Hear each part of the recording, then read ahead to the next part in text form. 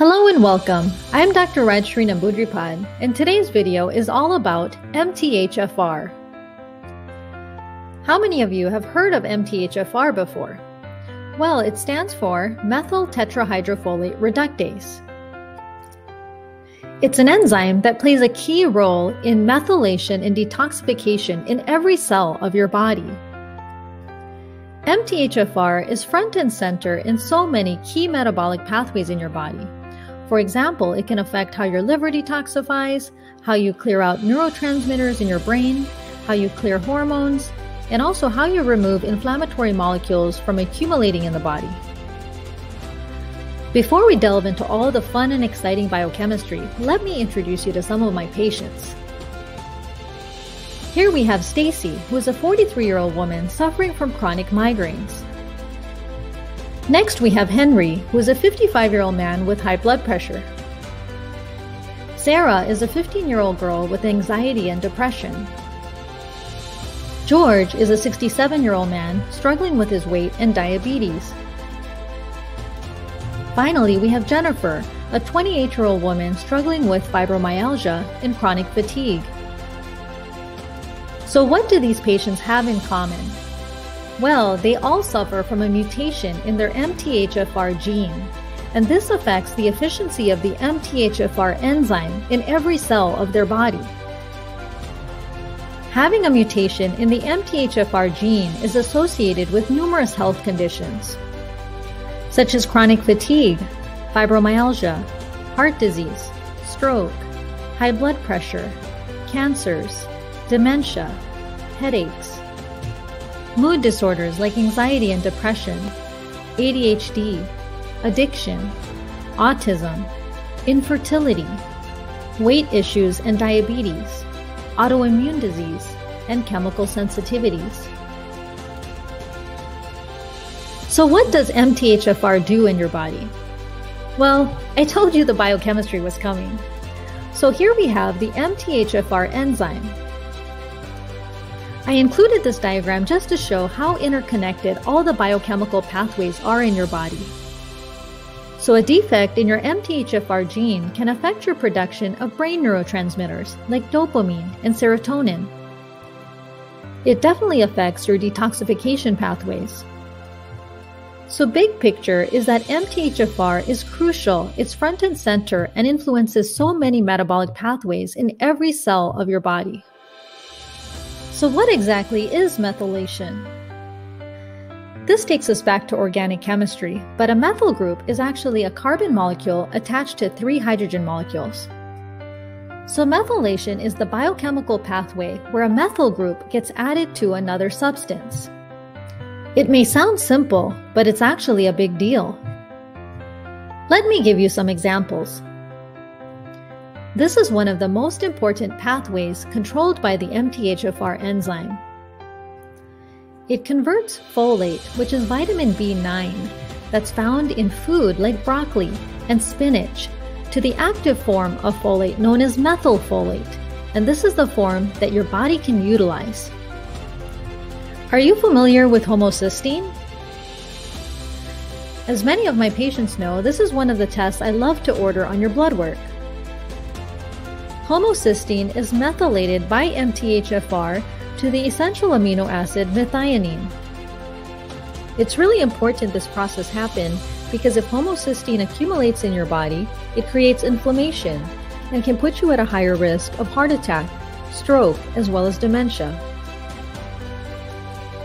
Your homocysteine level on your blood work tells me a lot about how you're methylating and my goal is to help you get the homocysteine as low as possible with an ideal level being around 6. Here's a diagram showing how all of these pathways are interconnected. So if something is off with your MTHFR, it creates a domino effect, affecting all the other pathways. So let's put it all together. As you can see, homocysteine is methylated to methionine. Folate is methylated to methylfolate.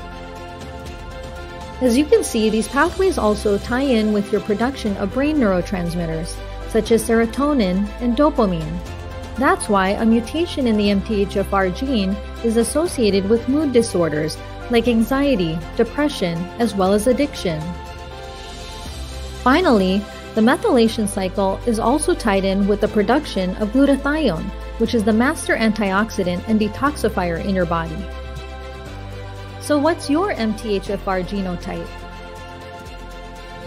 There are several genes which control the MTHFR enzyme, and for each gene, you have two alleles or copies. You get one copy from your mother and the other copy from your father.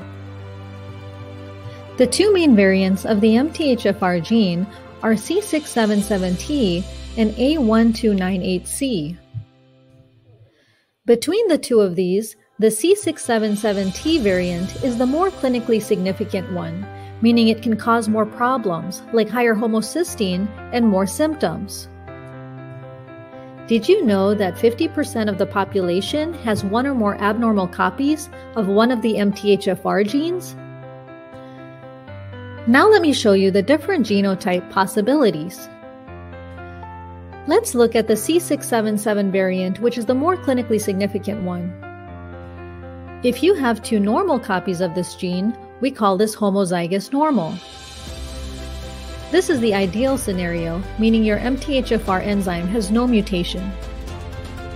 If you have one normal and one abnormal copy of this gene, we call this heterozygous. This reduces the efficiency of your MTHFR enzyme by about 30%. Finally, if you have two abnormal copies of this gene, this is called homozygous abnormal. Unfortunately, this reduces the efficiency of your MTHFR enzyme by about 70%. The MTHFR genes are passed on generation to generation. Here we have a mother and father who are both heterozygous for the MTHFR gene, meaning they have one normal copy and one abnormal copy. Both of their sons are also heterozygous, but unfortunately their daughter got two abnormal copies of the gene, Here's the good news your genes are not your destiny. Epigenetics means we can change the expression of your genes through your lifestyle. This is exactly the philosophy of integrative medicine, and that's what I like to focus on with my patients. The first step is finding out. Let's test for your MTHFR gene. One way to test is to do a 23andMe from your saliva.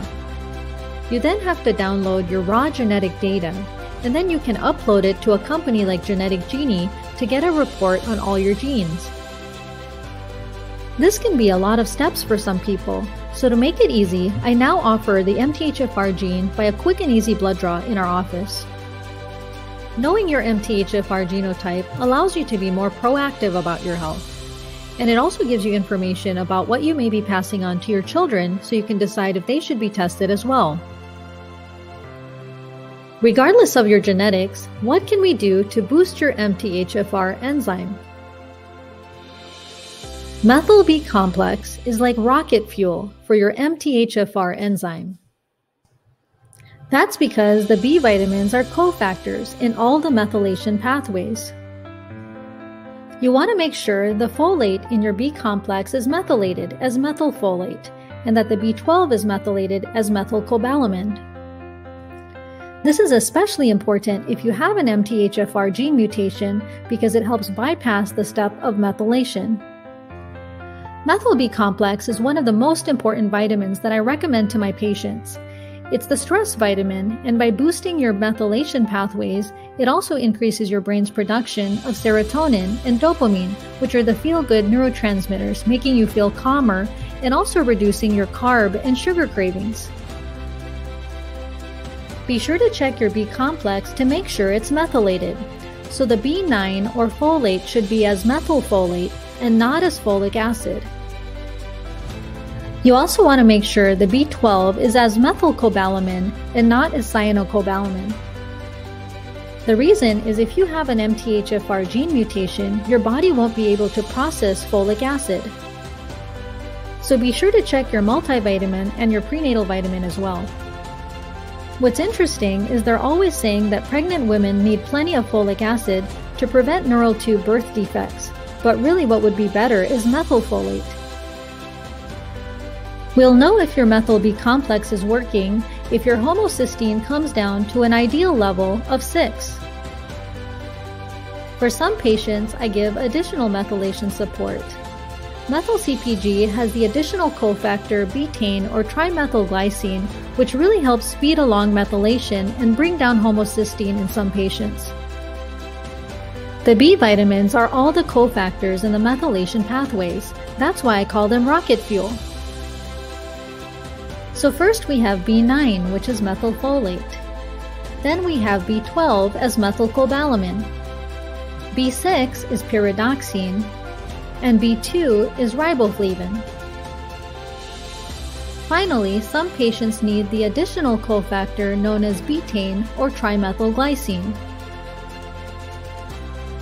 Food is medicine, and you can get a lot of methylation support from your food. The dark leafy green vegetables are rich sources of folate, which can really help boost your methylation pathways and bring your homocysteine down.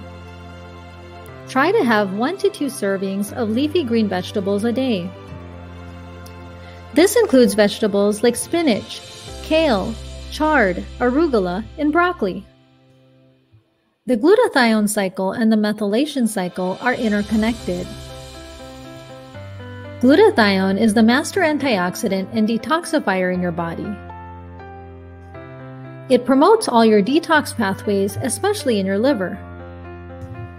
So everyone can benefit from glutathione. And what's interesting is I've seen a few patients who are unable to tolerate B vitamins, but when I gave them glutathione, I saw a significant reduction in their homocysteine. You can choose whatever form you prefer, Liposomal is a liquid form that gets absorbed through the mucous membranes in your mouth. And transdermal is a liquid spray that gets absorbed through your skin. These are the things you want to avoid because they're going to cause your homocysteine to go up and put more strain on your MTHFR enzyme. So they include sugar, alcohol, excess animal fat, as well as smoking. So let's get back to my patients from the beginning of the video. Do you remember Stacy, Henry, Sarah, George, and Jennifer? They all had the MTHFR gene. I changed their diet to a clean whole foods diet with plenty of vegetables, and I gave them a methyl B complex supplement to take every day. What's amazing is 6 months later, Stacy was migraine free. She was thrilled that she no longer had to take medication for her migraines. Henry was extremely happy as well because his blood pressure normalized and he was able to get off his blood pressure medication. Sarah's mood was now stable and she was able to focus better on her schoolwork. George lost 30 pounds and he also reversed his diabetes, which is amazing. Jennifer finally had energy and was able to return back to work doing what she loved as a yoga instructor. So here we have the key points. MTHFR is an enzyme that controls methylation and detoxification in your body. It's helpful to know your MTHFR genotype as well as your homocysteine level. Methyl B complex provides the cofactors for the methylation pathways and helps to bring down your homocysteine. Regardless of your genetics, there's a lot we can do to prevent and reverse disease. Thanks so much for watching this video. Hope you enjoyed it and please share it with your friends and family. If you like the video, please give it a thumbs up and subscribe to my channel. Feel free to leave your questions and comments below. Thank you again and have a wonderful day.